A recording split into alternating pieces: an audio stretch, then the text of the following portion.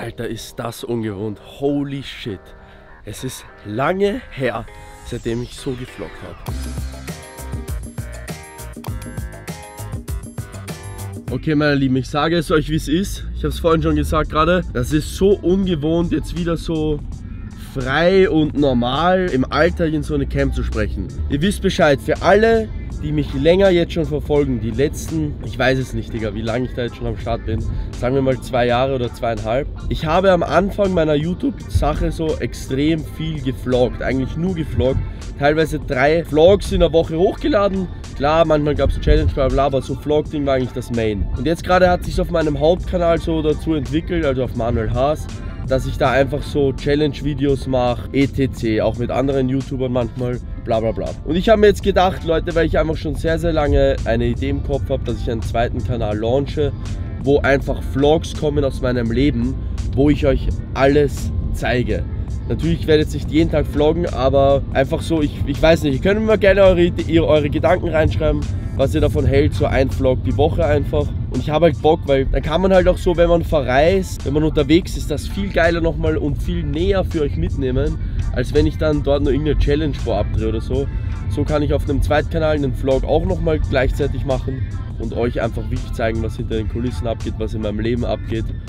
Ähm, lustige Sachen, alles, Leute. Ich will, ich will wirklich nicht immer auf Krampf jetzt lustige Vlogs oder so machen, sondern ich will und ich habe Bock, euch einfach durch mein Leben mitzunehmen. Ich habe einige Pläne, einige Ziele, einige Sachen, die ich machen will und irgendwie habe ich Bock, das zu verewigen und euch teilhaben zu lassen, euch vielleicht gewisse Lessons dadurch mitzugeben, was ihr, vielleicht könnt ihr was daraus ziehen, ihr was daraus lernen und ja, deswegen versuche ich das mal und es ist wirklich nicht leicht für mich, also ähm, dazu komme ich dann später auf jeden Fall nochmal. Dazu kommen wir nicht später, dazu kommen wir jetzt. Ich keck, äh, habe vergessen, das dann noch aufzunehmen, weil ich nicht mehr dran gedacht habe. Auf jeden Fall, was ich sagen wollte, ist, dass es mich wirklich Überwindung kostet, sage ich jetzt mal, ähm, einen Zweitkanal aufzumachen und da so Vlogs zu bringen, weil es halt, ja, wieder eine neue Sache ist, sage ich jetzt mal für mich und das irgendwie nicht leicht ist, wie, wie so überall, wenn man wieder wo rein startet, sage ich jetzt mal, oder frisch das startet, immer nicht leicht, man muss immer so einen Schritt ins Ungewagte machen. Ich habe keine Ahnung, ob ihr Bock drauf habt, ob es euch gefällt, ich hoffe es natürlich. Aber ja, deswegen bin ich mir da einfach sehr, sehr, sehr unsicher. Ich habe über zwei Monate, glaube ich, über dieses Thema nachgedacht, ob ich das machen soll oder nicht.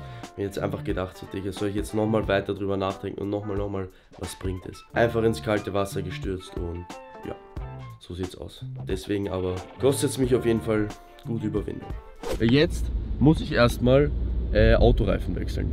Bevor ich da jetzt reingehe, kann mir jemand verraten, wir haben es Mitte Mai und das Wetter, Digga, es hört bei uns in Österreich, in Wien, nicht auf zu regnen. I need help, please. Das Auto steht jetzt hier, es hat jetzt Reifen gewechselt. Und jetzt mal schauen, ist Reifenwechseln schwierig? Wirklich, so das Erste, was man lernt, oder? Perfekt, dann schaue ich da mal zu, vielleicht schaffe ich es auch irgendwann mal.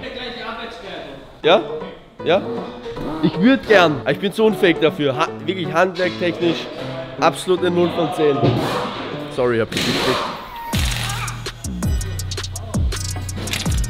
Alter, das ist krass auf jeden Fall. Der Kollege sagt mir gerade, sein Vater arbeitet hier, sein Cousin, er als richtiger Family und sein Vater auch, aber er ist Kamerascheu.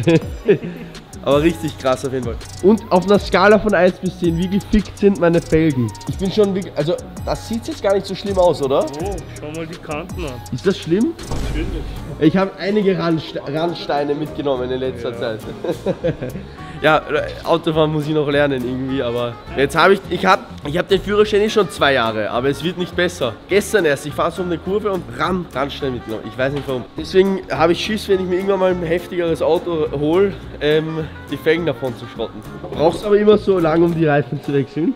Na, brauchst du. Spaß. Spaß, Leute, Spaß. Okay, das waren auf jeden Fall ohne Witz richtige Ehrenmänner, war richtig lustig. Wir haben jetzt einfach mal eine Dreiviertelstunde oder so verbracht, gelabert, äh, Reifen gewechselt, war auf jeden Fall chillig. Jetzt erstmal ab nach Hause. Ich brauche was zum Essen. Ich habe noch nichts gegessen und wir haben es 12 Uhr. Und dann werde ich auch schon losfahren, weil wir treffen Paul. Ich werde zu Paul in die Wohnung fahren. Ich sehe die zum ersten Mal. Hm, bin ich sehr, sehr gespannt. Freue mich schon drauf, weil wir eine sehr, sehr, sehr wichtige Sache besprechen müssen, abklären müssen. Positive Sache natürlich, keine negative, meine Lieben. Und da freue ich mich schon drauf. Daher, deswegen müssen wir halt dann zu, zu Paul fahren. Standardmäßiges Frühstück, meine Lieben. Ihr kennt es seit Jahren. Porridge. Einfach, ja, Haferflocken mit 60 Gramm Eiweißpulver. Ich werde euch das Eiweißpulver, was ich verwende für äh, mein Porridge, unten in der Videobeschreibung verlinken. Könnt ihr gerne auschecken und ausprobieren. Mit Code Manuel, wisst ihr Bescheid. Spart ihr maximal, das heißt, benutzt unbedingt den Code. Leute, ich sag's euch, ich hoffe einfach wirklich, dass euch ähm, diese Vlog gefallen. Ich habe da so Bock drauf, aus meinem Leben alles mitzuzeigen was es auch immer zu zeigen gibt. Auch wenn ich random, keine Ahnung, mit einem Freund irgendwo hinfahre oder so. Mal für zwei Tage da einfach den Urlaub, den Trip, was auch immer vloggen, was alles so passiert. Jim wird kommen, alles wird kommen, Leute. Das soll einfach so ein Allrounder-Channel sein, wo nichts zu ernst genommen wird. Ich will nicht die übertriebensten, aufwendigsten Schnittvideos da jetzt machen, wenn ihr wisst, was ich meine, sondern einfach nur natürlich, ähm, ja, Vlogs. Und Digga, hört mal. In meiner Air Force Sohle wenn ich gehe, ist einfach Wasser drinnen.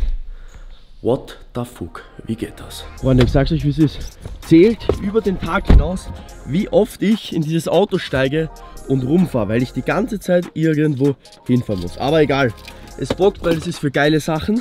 Und was ich noch sagen wollte, worauf ich auch richtig Bock hätte, also Reisen macht mir extrem Spaß. Es ist zwar fucking teuer und es hat mich dieses Jahr schon sehr, sehr, sehr viel Geld gekostet. Ich kann ja mal eine Zahl raushauen. Ich glaube, ich war in Dubai am Anfang des Jahres und dann sechs Wochen in Los Angeles. Nagelt mich jetzt nicht fest, ich weiß es eh nicht. Dafür müsste ich jetzt das Konto checken. Aber ich glaube, ich habe in diesen, da war ich zwei Monate dann insgesamt unterwegs. Ich habe da, glaube ich, ohne Witz über 20.000 Euro ausgegeben. Und das tut schon weh, sage ich euch ehrlich, wie es ist. Vor allem, weil in meiner Lage jetzt, ich bin ehrlich mit euch, durch YouTube und so weiter nehme ich da keinen Cent zurück ein. Meine YouTube-Einnahmen sind wirklich... Von meinen YouTube-Einnahmen könnte ich zum Beispiel noch nicht leben. Von meinen anderen Einnahmen schon. Aber I don't know, Leute. Das so viel, so viel sei dazu gesagt. Das ist eben auch eine Sache. Ich will einfach noch mehr transparenter mit euch werden. Und auch aus diesem Bereich, aus, ich sage jetzt mal, ich das hört sich immer so komisch an, aus dem Business-Bereich auch einfach mehr zeigen und äh, mehr erzählen, ähm, sofern sich die, die, die Möglichkeit halt ergibt. Gib mir da bitte unbedingt Feedback, was ihr dazu findet. Ähm, ich habe jetzt genug gelabert, wir fahren jetzt zu Paul. 36 Minuten Fahrt zu Paul, let's go!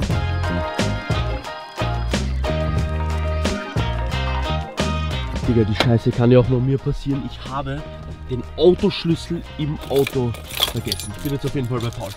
Okay, schon mal wunderschöner Eingang, meine Lieben. Ich bin jetzt auch zum ersten Mal bei Paul. Adresse kann ich euch leider nicht zeigen. Da ist ein Meeting, da ist ein Meeting. Okay, eines gefällt mir, Camilla, an eurer Wohnung hier. Ihr habt einfach kein Licht da.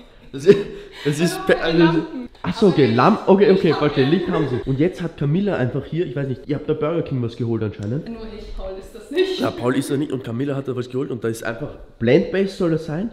Es ist einfach Fleisch drin. Ich glaube, das ist Fleisch, ja. Crazy, weil ich habe gerade eben gekostet. Ich esse ja bekanntlich noch Fleisch, meine Lieben. Aber muss man schon sagen, Burger King? Mhm, krass. So, Paul, Meeting fertig. Wie war Kathmandu, Paul? Paul war ja unterwegs. Das, was du verraten darfst, auf jeden Fall. Darfst du nicht so viel verraten. Kulturschock kann man schon mal sagen. Das Heftige ist, dass Paul zu mir gesagt hat, nämlich, dass man richtig oft da ähm, Lebensmittelvergiftungen bekommt. Das ist, glaube ich, ein paar Tage vor dem Abflug. Dann aufgelegterweise hat es genau ihn erwischt. Ja. Wie viel hast du abgenommen? Also normalerweise nimmt, ich glaube jeder Zweite hat normalerweise Lebensmittelvergiftung, wenn das so der, dort, der dorthin reist. Ja. Holy shit. Generell hat mir, wurde mir auch erzählt, dass bei der Tour eigentlich nur so die Hälfte oben ankommt, wenn überhaupt.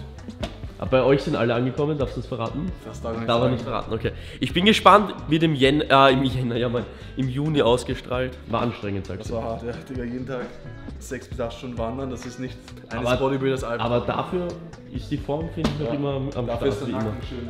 Ja, Digga, das, das, war, das ist ja das Beste.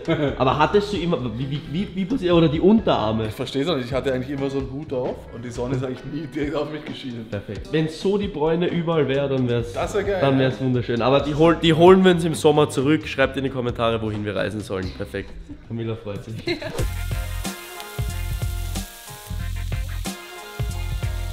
Fertig gekocht, es gibt eine schnelle Mahlzeit, Reis mit faschierten bzw. Hackfleisch und danach geht's gleich weiter. Dann treffe ich noch bzw. habe noch einen wichtigen Termin ähm, und dann ist der Tag gefühlt eh schon wieder um. Also wir haben es jetzt 16.30 Uhr, um 17 Uhr muss ich auf jeden Fall los, das heißt jetzt habe ich eine halbe Stunde um zu essen. Gym wird heute übrigens noch ausgelassen, weil ich gerade etwas verkühlt bin, was richtig, richtig scheiße ist. Hoffentlich ist das in den nächsten zwei Tagen zu 100% weg, dass ich endlich wieder pumpen kann. Und ja, jetzt erstmal Gain safen. Uh. Digga, auf ein neues, meine Lieben. Fertig gegessen. Jetzt heißt, ich muss meiner Mutter kurz bei was helfen. Zweite Sache, dann fahre ich irgendwo hin, weil ich noch einen Termin habe. Er muss noch zwei Kollegen abholen, die mit bei dem Termin sind. Und ja, dort sehen wir uns dann wahrscheinlich kurz wieder. Mal schauen. Huh. So, meine Lieben, willkommen back. Ich weiß nicht, drei Stunden sind mittlerweile vergangen. Chris, Chris, hast du was zu sagen für meinen Vlog? Du musst, nein, diesen Shot will ich nicht in dem Video sehen. Ich kann nicht. Chris ist kamerascheu. Ich bin Kamera. Aber er ist, er ist der beste Kaffeemaker. Auf jeden Fall schau dich das mal an, wie krass. Ich denke mir jedes Mal, wie geil, Chris, wenn du hier ein Date hast. Oder da drüben ist auch nochmal so eine Terrasse. Das kann schon ganz geil sein. Aber wir hatten auf jeden Fall da jetzt gerade, ich glaube, die letzten zwei Stunden geiles, ich nenne es jetzt mal Meeting, geschwollen ausgedrückt. Und ja, mal schauen, was sonst noch so ansteht. Jetzt auf jeden Fall chillen wir noch ein bisschen, was auch immer. Und sonst, I don't know, sehen wir gleich. Wir haben es 23.20 Uhr. Vorhin gerade nach Hause gekommen, frisch geduscht, jetzt noch kurz gegessen und ähm, eine Sache erledigt, eine ganz, ganz wichtige. Und ja, Digga, heute waren einige Erledigungen am Start, habt ihr gesehen auf jeden Fall. Wir haben gut was vorangebracht und ja, ich konnte euch einfach, glaube ich, entspannt durch den Tag mitnehmen. Ich hoffe, es hat euch gefallen. Ich mir jetzt noch den Shake rein. Ihr seht, ich bin ein bisschen in Schal geworfen. Ich treffe jetzt noch ein paar Kollegen und vielleicht haue ich euch jetzt noch ein paar Clips rein von dem, von dem äh, anstehenden Abend jetzt. Ich will nicht zu lange wegbleiben, aber ein bisschen einfach auf ganz, ganz entspannt. Und ja, vielleicht kommen jetzt noch ein paar Clips. Wenn nicht, sehen wir uns beim nächsten Mal wieder. Haut rein, peace out.